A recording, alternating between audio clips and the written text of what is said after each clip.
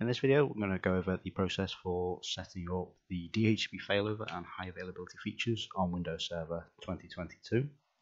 So far, I've got uh, my main domain controller, which has got DHCP installed and configured with one scope and a couple of settings and a lease reservation. To set up the failover, uh, you will need to log on to your second server and install the DHCP role. To do that, just follow the normal role and feature wizard. Select the DHCP server and the management tools, and then just hit next through the windows and then install.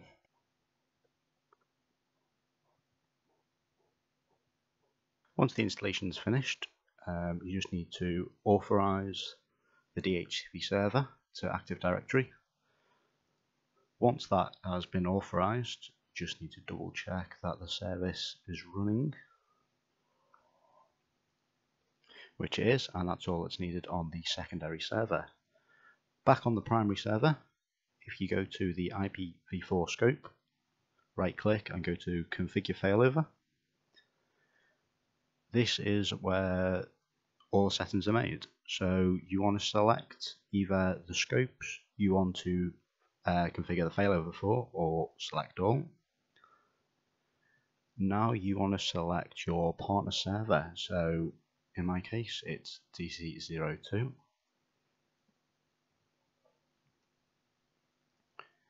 Check. This will just uh, check it has communication.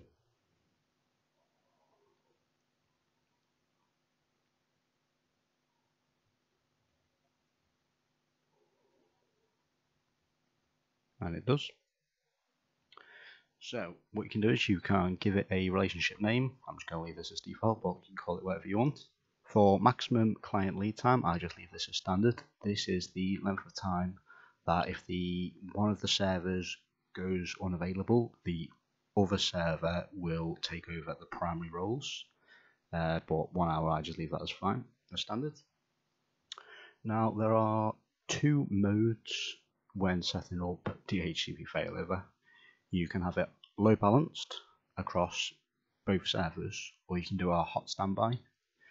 For load balancing, it's pretty simple. You just tell it the two servers and then give it how much of the load you want it to give, so generally 50-50 split.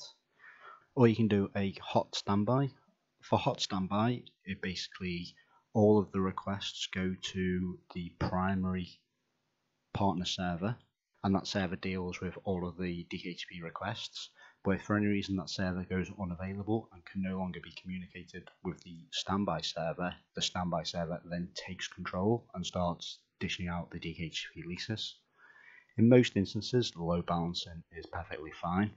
Uh, that's the one that I always use. I don't recall ever actually using the hot standby feature.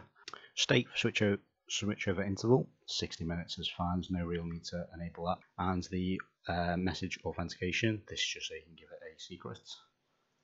Just set that up to whatever you want. And then hit next. This will just confirm the settings and then hit finish. And this will uh, uh, create the failover partner and replicate all of the settings uh, configuration failover successful. So now if we go back to the secondary server and then refresh, that scope should appear and it has and it should take over the address pool settings. It's pulled over the, any leases that we have. We only had the one. It's pulled over the reservations with the reservation settings and any scope options that we had configured if there's any policies that would pull it through as well. Now if you need to make additional changes to the scope now that it is replicated, you can do it on either server, but you have to right click the scope and uh, replicate the scope if you make any changes. So example, if we go to uh, scope options and we change the, actually let's go configure options. Let's say we add a time server. We'll just give it the domain controller. So that has been added to DC02. But if we go back to DC01, that option is not here, no matter how many times I refresh. So what you've got to do is, once you've made the change, if you just right click either on the scope or on IPv4 and replicate the scopes, this will go through the process and then it will push any changes that have been made to its partner server. So if I refresh this now, that's added that time server back to this main scope. And that is the basics for setting up a DHCP failover scope.